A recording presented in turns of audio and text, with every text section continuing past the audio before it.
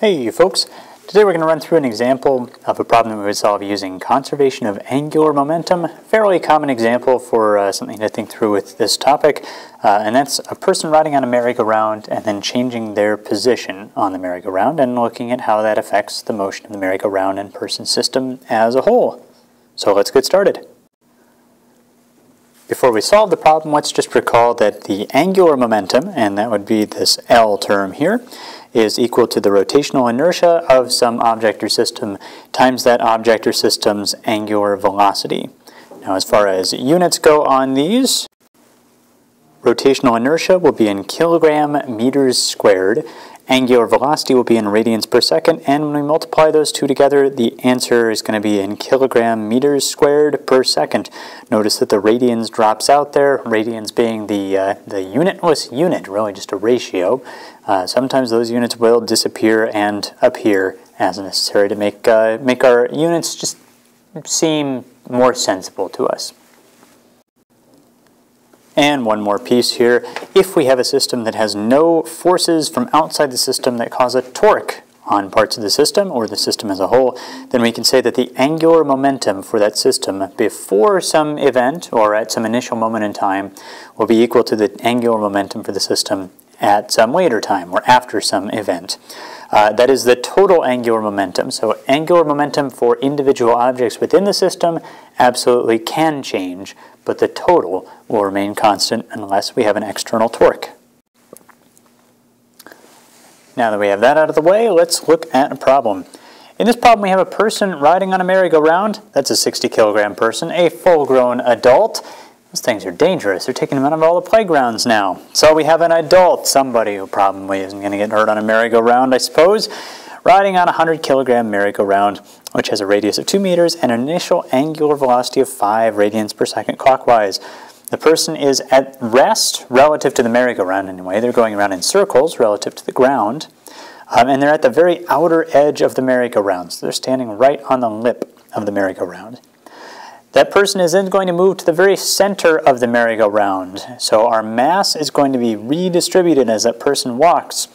And uh, because of that redistribution of mass, we're also going to have a change in our value for I, the rotational inertia of our system, which corresponds then to a change of omega, the angular velocity of our system. So that's the question. How fast will this thing be rotating after the person gets to the very center of the merry-go-round? Let's start with a diagram, a, a graphical depiction of this situation. So in both the initial state and the final state, we have the same size wheel, still that 2 meters and 100 kilograms. Initially, we have the wheel spinning clockwise at 5 radians per second, and initially this person is way at the very outer edge, so 2 meters away from that axis of rotation. In the final state, this person has walked inward. This thing is still rotating, but we would expect then it's rotating at some different angular velocity. So that's our task. How fast is it rotating once the person is right here in the middle? Well, in this case, we're not going to have any external torques on the system. We'll assume that friction is uh, negligibly small, uh, as well as air resistance, and there aren't any other forces acting on it, so nobody's on the side of the merry-go-round pushing it to get it going faster or trying to slow it down. So just the merry-go-round and the person interacting with each other here, which means our system is going to have a constant value for the total angular momentum. So let's set up an equation to that effect. So that equation simply is the total angular momentum on the initial side, or in the initial moment, is equal to the total angular momentum in the final moment. Now we can break this up. We have two objects in our system, and they each can have their own angular momenta. So let's break this up and just uh, have those two objects' angular momenta added together on each side. I'll use the subscript mgr for merry-go-round and p for person. So all we're saying here is that the initial angular momentum of the merry-go-round plus the initial angular momentum of the person has to equal the total of those two at the end. So the final angular momentum of the merry-go-round plus the final angular momentum for the person. Angular momentum can be calculated as rotational inertia times angular velocity, so we can replace each L with an I times omega. So replacing each L term with I times omega gives us something like this. We have the initial uh, rotational inertia for the merry-go-round, which it turns out will actually not change, so we don't really need to specify that it's the initial value, but we've got it on the initial side, we might as well, times the angular velocity for that merry-go-round initially, omega naught, uh, that's not going to be different for the two objects, so I don't have any subscripts denoting merry-go-round versus person there. They'll both be, having, uh, be rotating at the same angular velocity.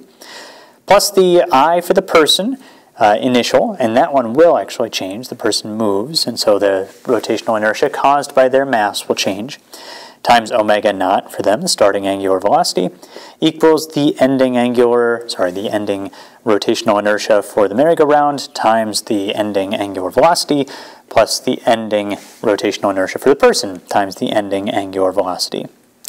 Now, those I terms are uh, all things that we can calculate values for. Um, let's do that separately and then we can plug in. So the rotational inertia for the merry-go-round, like I said, is not going to change in this problem. That merry-go-round is going to behave like a solid cylinder, so we can look up an equation for the rotational inertia of a solid cylinder, and we find that that equation is I equals 1 half times m times r squared. So in this case, I is equal to 1 half times the mass of 100 kilograms times 2 meters squared, which is going to give us 200. There goes 200 kilogram meters squared. And just so I don't forget, that is I for the merry-go-round, uh, rotational inertia for the merry-go-round. That one won't change from uh, um, side to side, from initial to final. So let's go ahead and plug that in here. So we've got, whoops, 200 kilogram meters squared. And we've got 5 radians per second for the starting omega. Plus, okay, then the I for the person. Now that person is not going to behave like a solid cylinder rotating around its center.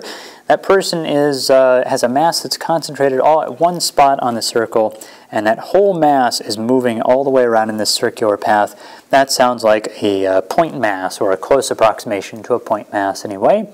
Um, so we'll treat this person as though they are a point mass, which means we're going to use the equation I for the person this time is equal to mr squared, their mass times their distance from the axis of rotation squared. Now this one actually will change from initial side to final side. Initially they're two meters away from the axis of rotation and on the final side they're right at that axis of rotation. So IP initial is going to be the person's mass, that's 60 kilograms, times the distance from the center, that'd be 2 meters, squared, and that's going to give us an initial rotational inertia of, let's see, that'd be 4 square meters times 60 is 240 kilogram meters squared. Now on the final side, this R value is going to be uh, very nearly zero. Now at, at this point when the person gets to the axis of rotation, it probably doesn't make sense to treat them as a, point mass anymore know, maybe like a cylinder uh, of, of, its own uh, rotating around an axis there. Um, but it's going to have a very small radius. The person's dimensions are just very small compared to the, uh, um, the merry-go-round. So when it, let's go ahead and treat them like a point mass still. And that final value for IP then will be zero. It'd be 60 kilograms. And their distance from the axis of rotation is zero squared. Now, we might be able to get a slightly better approximation if we didn't treat them like a point mass here, but I don't think this is going to be too far off. So their final IP is just going to be 0. All right, now we can plug those values in here too.